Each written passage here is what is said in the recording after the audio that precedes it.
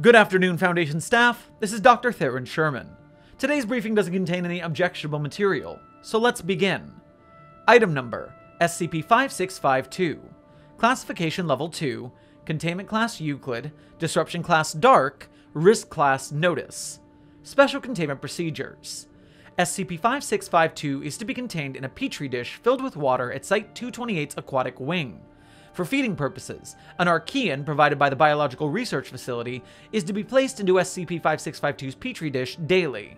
Description SCP 5652 is a microscopic entity resembling an adult female hammerhead shark, with an approximate 4 micrometer body length.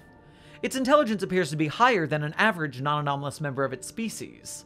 SCP 5652's primary diet is composed of various microorganisms, but it notably prefers bacteria and archaea.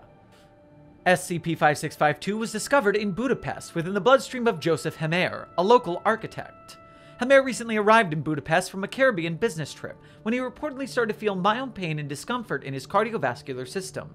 Later, during a medical examination, SCP 5652 was discovered and retrieved by the Embedded Foundation agents, but the pain was still present. Two days after SCP 5652's discovery, the source of the pain was found. Ten heavily damaged humanoid automatons of similar sizes to SCP 5652 were discovered embedded in the walls of Hemer's blood vessels. The automatons were noted to have disproportionately large hands. Further research revealed that the automatons were remote controlled, and a small symbol depicting a modified version of the Foundation's sigil was found printed on the chest of each automaton. Weird. Alright, staff, that ends our broadcast. Use your Foundation encrypted YouTube account to like, comment, and subscribe, hit the bell, and support our broadcast at patreon.com slash site42.